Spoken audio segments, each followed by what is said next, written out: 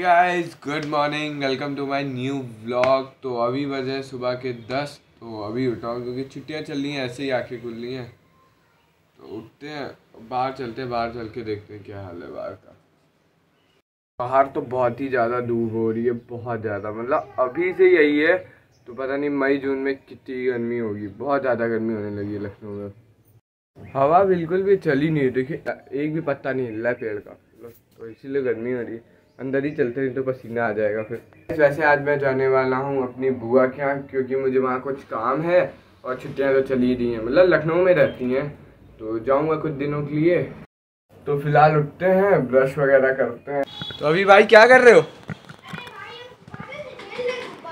क्या? गुब्बारे से ले फट भी गया? ब्लैक कलर का। दिन भर गुब्बारे से क्या और डरेंगे भी सब ज़्यादा तो खुला के का सर पे फोड़ते हैं डरेंगे भी सबसे ज़्यादा पसंद भी है इनको सबसे ज़्यादा। तो अभी गाइस मैं जा रहा हूँ सामान लेने बाज़ार से, क्योंकि हम लोग क्या होली के एक हफ़्ते बाद पूजा होती है कि उसमें जो आज जो खाना बनेगा, उसको कल पूरा दिन खाया जाएगा। दिन में भी, रात में भी कोई नया चीज़ नहीं बनता है। तो वही सामान लेने जा रहे हैं, वही सब्ज़ी वगैरह और भी पूजा का सामान। मतलब पापा है नहीं तो वही ले आते हैं सारा सामान, क्योंकि ऑफ़िस के काम से बाहर गए हुए हैं। आज रात में आएँगे। तो चल के सामान ला के दे देते हैं मम्मी को। नहीं तो फिर मुझे बुआ के अभी जाना है ना। तो ला के दे देते हैं सारा सामान। मार्केट तो पहुँच गए हैं। तो आज है थर्सडे तो सब बंद ही रहता है यहाँ पे, सारी शॉप वगैरह। से मतलब जो जनरल स्टोर वगैरह खुली थी नहीं तो सारी ज्वेलरी की, कपड़ा वगैरह की, सब दुकानें बंद रहती क्योंकि बाज़ार लगती है ना अमीनाबाद में थर्सडे की तो इसलिए सब बंद रहता है। चलते सामान खरीद, लेते फिर चलते हैं तो गाइस घर पहुँच गए हैं, सारा सामान ले लिया है। सिर्फ़ एक सामान नहीं मिला, पनीर। क्योंकि जहाँ से हम लोग पनीर लेते हैं, उन्होंने कहा, भैया, अभी पनीर रेडी नहीं है। कुछ टाइम बाद आई। ठीक है ना, मम्मी को वैसे भी रात में बनाना है, आराम से आके ले आए और बाकी सब ले लिया। तो गाइस बना के रेडी हो गया हूँ और तो करते हैं अब पैकिंग जो अपने कपड़े वगैरह ये माइक ट्राईपॉड चार्जर ईयरफोन्स वगैरह सब रखने।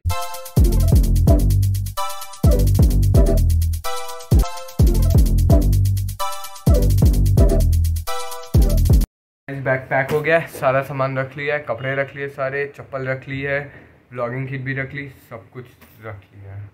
कुछ नहीं बचा। ब्रश नहीं रखा ब्रश रख लेते हैं। बहुत इंपॉर्टेंट चीज़ अब भैया को नहीं भूल सकते।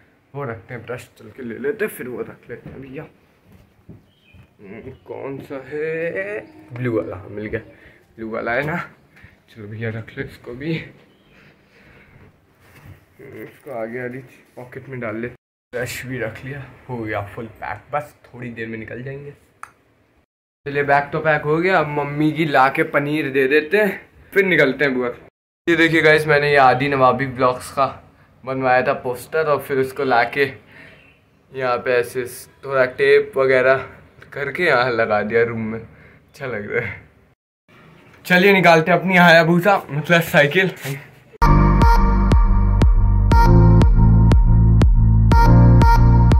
पनीर मिल गई, अब चलते हैं सीधे घर और फिर निकलेंगे बुआ के घर के लिए।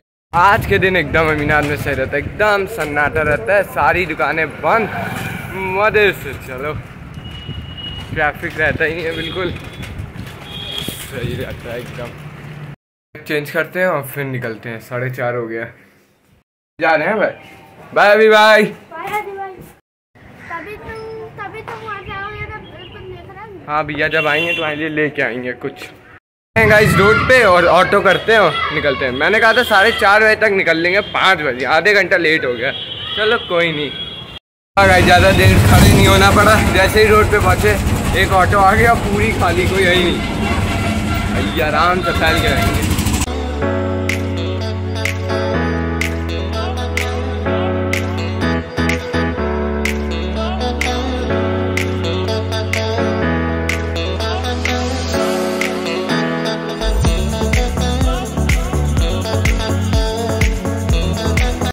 गया गाइस रोड पे हूँ, अंदर गली में उनका घर। तो ये देखिए गाइस पूरा चौरा सजा हुआ है ऑरेंज बैलून से, क्योंकि कल है लखनऊ में शपथ ग्रहण। योगी जी आएँगे, शपथ लेंगे वही तो देखिए पूरा सजा हुआ, पीछे पूरा मतलब मैं रास्ते से आ रहा था, तब भी काफ़ी चरा वगैरह सब ऑरेंज कलर से सजे हुए थे। क्योंकि भैया योगी जी जीते हैं तो पूरा उनका भगवा कलर से सजा हुआ है। आपने देख ही लिया होगा, काफ़ी चरा वगैरह सजे थे। मस्त लग रहा है एकदम। मस्त योगी। मस्त। अच्छा लग रहा है बहुत। Orange orange.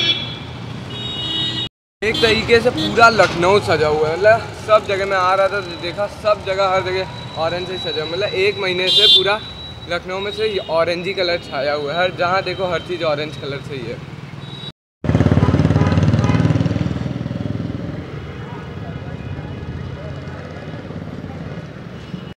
तो बहुत देख लिया सजावा बहुत टहल लिया अब चलते सीधा घर। बहुत ज़्यादा गर्मी हो रही है। पसीना पसीना होने लगी।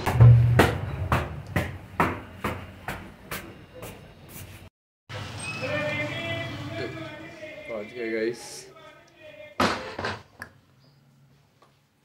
तो बस गाइस पहुँच गया फाइनली अब चलते हैं वहाँ पे थोड़ा गेस्ट वगैरह आए हुए हैं तो बुआ लोग वहाँ बैठ। मिलते हैं बुआ लोग से कुछ खाते हैं तो मैं आपसे मिलता हूँ थोड़ी देर में। चलते हैं छत पे जरा पेड़ों को नहला देते हैं। मैं था नहीं बेचारे नहा नहीं पा रहे थे इतने दिन से। चलो थोड़ा पानी वानी पिला दे, नहला दे। चलेगा। आइए आपको यहाँ के पेड़ दिखाते हैं, बहुत ही अच्छे अच्छे हैं।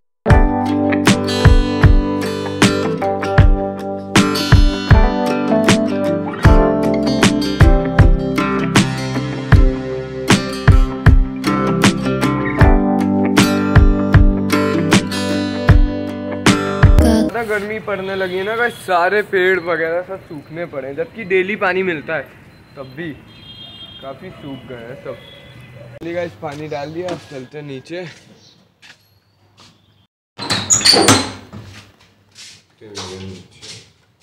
गाइस एक्वेरियम देखिए कितना प्यारा फ़िश कितनी अच्छी अच्छी है। बस गोल्डन फ़िश है और का मुझे नाम नहीं पता।